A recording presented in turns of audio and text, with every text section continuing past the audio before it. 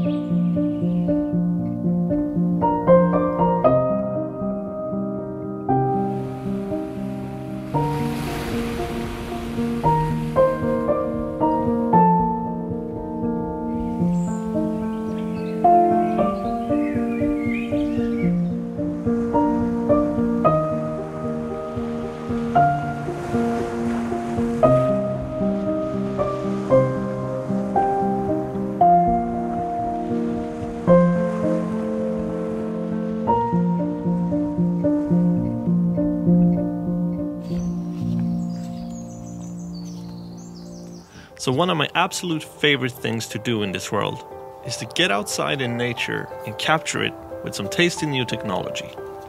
And that is exactly what we're doing today. Ooh, I see the ocean. Honestly, I haven't been to a beach in ages. So this feels very nice. The sun is slowly starting to peek through and touch these ones. Okay, I really need to get up there.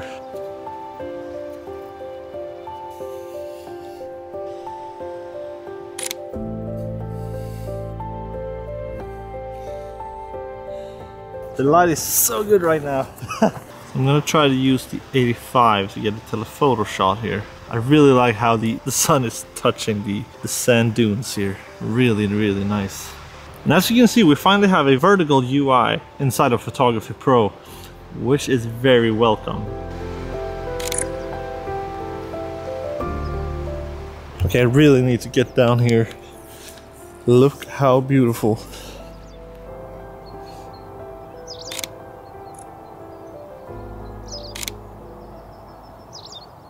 So I got an idea. I'm gonna take a self-portrait up here and this little path that is going will create a little nice leading line in the shot. But there's only one problem. I need a tripod for this and my bag is over there. So uh, whew, let's set it up.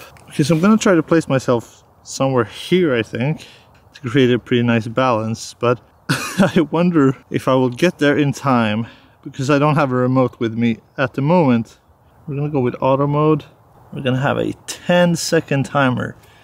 Will it get up there in time? We will see. One, two, one. Did I make it? no, I didn't make it. This is steeper than than it looks like. One. Ah. I forgot the 10 second timer.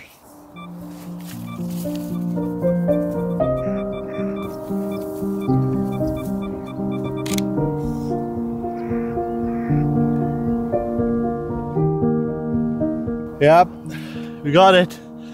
Yay! if I just bring the remote this would be a lot easier.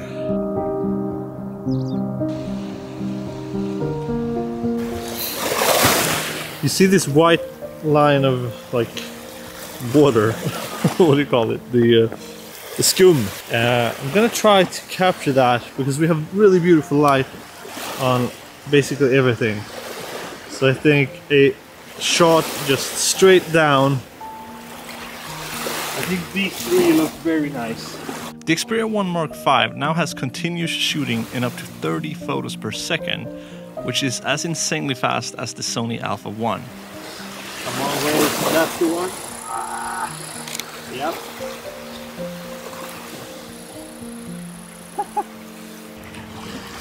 okay, this is a lot of photos. Like, look at this. It's basically film.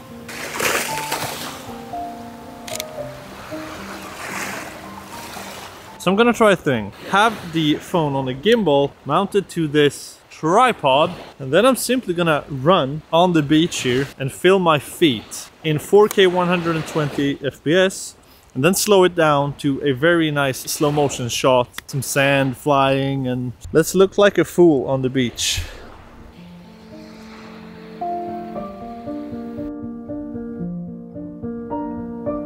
So on the Xperia 1 Mark V we have the 16mm ultra wide lens as well as the 24mm wide and the still very impressive 85 to 125 millimeter optical zoom.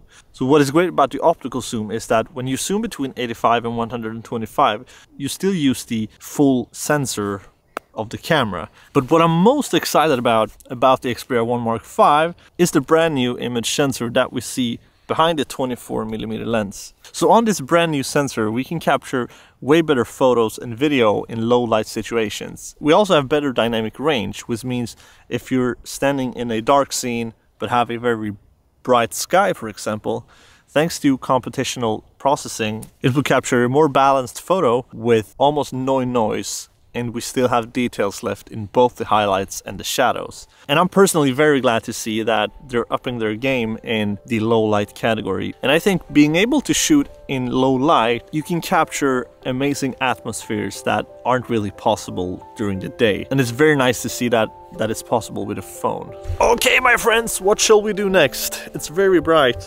So let's head into the forest.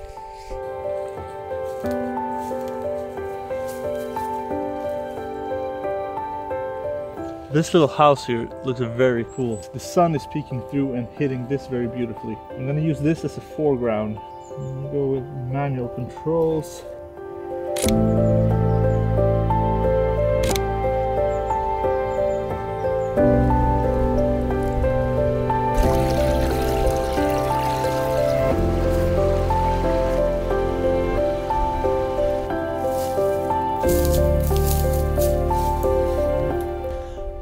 Beautiful spot. So I personally enjoy shooting video with Xperia phones very much. I think the user interface of Videography Pro is the best out of all the phones I've tried. And I think it's because the similarities to the Sony Alpha system that I use right here. And as on the Xperia 1 Mark IV, we have 4K 120 FPS on all the lenses. So I can shoot an ultra-wide slow motion shot in 4K and then cut to a zoomed in 4K slow motion shot. And I don't have to worry about certain limitations on the different lenses, which is a big plus. So they've now added S-Cinetone for mobile, which is basically a mobile version of the very popular S-Cinetone format that we see on the Sony Alpha system, which will give you cinematic looking colors directly out of the phone and you don't have to learn how to color grade and put it in an editing software and so on. Basically all you have to worry about is to shoot and if it looks good in on the screen on the phone, that is what it will look like when you have the final product. Well, you know what? It's time for us to move forward because we're going on a little daily trip with the car. It's quite far, but I definitely think it will be worth it. I'm in the car on my way to, to some coasty, beautiful views, but I just had to stop because look at this. Wow. So as you probably can see, the sun is still very high up in the sky and harsh. So this is a great example when to use the auto mode and get the benefits with the computational processing that it does. Let's take a photo. And here we see we have lots of details in the shadows, but we still have the details in the highlights right here. And it's super sharp. Let's get moving.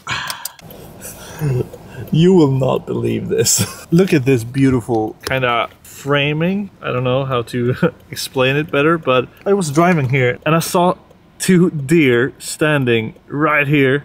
And I first thought it was statues because they were just standing there, silhouette, ah, incredibly beautiful. So I had to panically back up the car, grab the Xperia. Thankfully, you can just press here and Photography Pro will open. that saved me and I got this shot.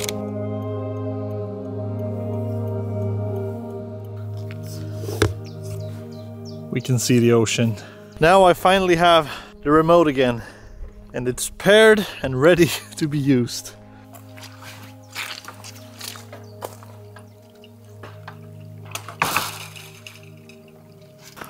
What is this place?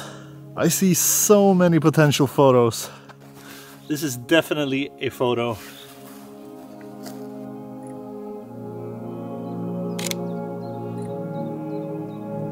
Isn't it pretty crazy when you're out in places like this?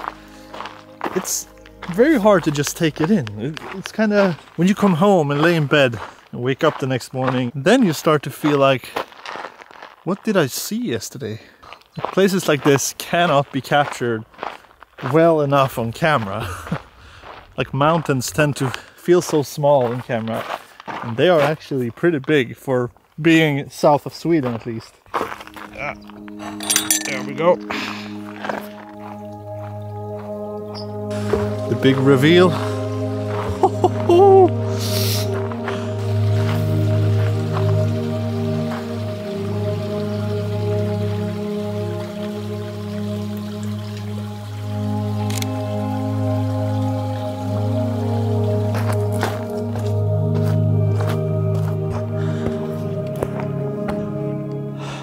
pretty nice view.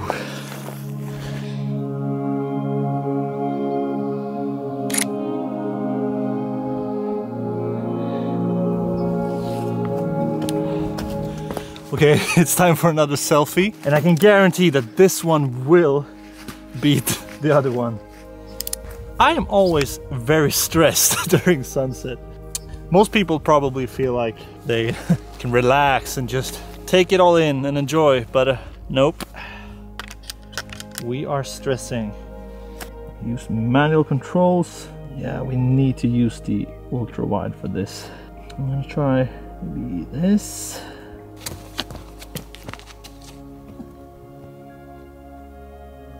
Wrong place.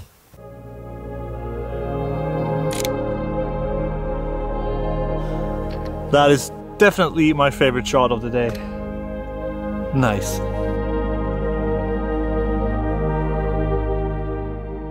If you follow this channel, you know that I enjoy taking photos manually with manual controls and editing the photos and doing everything by myself. But I know many of you that don't really want that. You just want to take a photo and focus on the actual shooting and have a photo that is looking the way you want directly out of the phone. And they have added a couple of creative looks onto the Xperia that works for both video and for photos. So you have a bunch of different presets that you can choose from to really personalize the photo. So if you like very saturated colors and a very poppy image, you can use the vivid one. Then you have a bunch of different other ones that can give you a dreamy look or a faded look and so on. So if you don't want to learn a editing software and so on, you can use the creative looks. But if you want to use an editing software and nerd down like I do, you can obviously do that as well. So in a low light situation like this, if you're taking the 24mm and shooting in auto, you can basically hand hold and shoot and you get really nice details. I cannot see any noise at all really.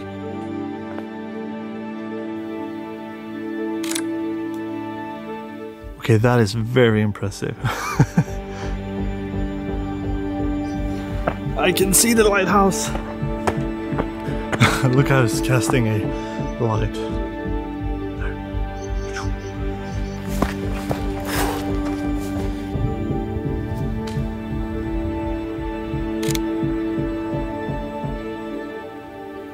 Just need to find the best angle. I have a feeling it might be up here, but who knows? oh my gosh, what a view.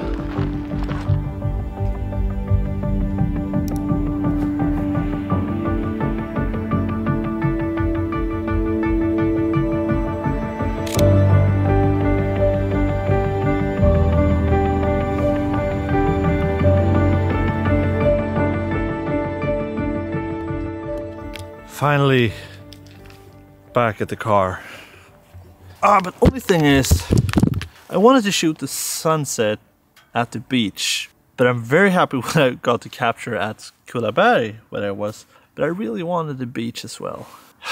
If there only was some kind of way to turn back time. Well, I guess if we can give it a try. Settings, date and time. Here we go. I think about four hours would do. Let's go with five. Boom. Can you hear that? hear that? Mr. Look.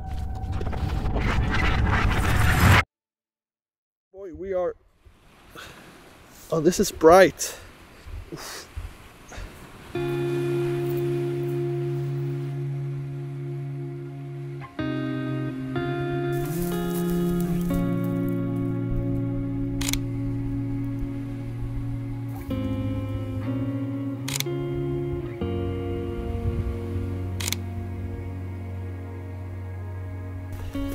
Another very cool thing is the external monitor feature.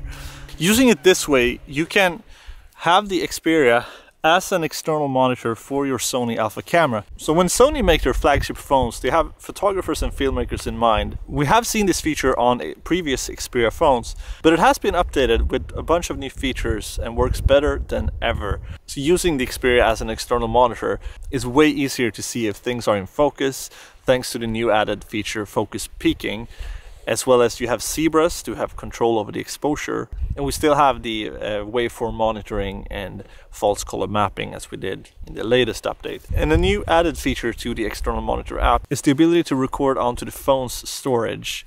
So the phone will record as well as your camera will record to the SD card. This is great for a backup shot in case something would happen to the SD card or anything else. And as you might know, I'm not really a commercial videographer, so I'm, filming wildlife and stuff. So I've used this in when I'm sitting in a hide and can lay back and have a large screen and see if something appears in front of the hide without having to like watch this little small screen. And when we're doing that, having features such as the focus peaking, for example, is very, very handy. How cool doesn't this look? This is the future. that, my friends, is everything for this video. And I've been having a blast here on the west coast. And it's always fun to try out new things, especially new Xperia phones. So thanks for coming along with me on this little journey. And I will leave a link down in the description where you can check out the full resolution photos. So until next time, have a good one.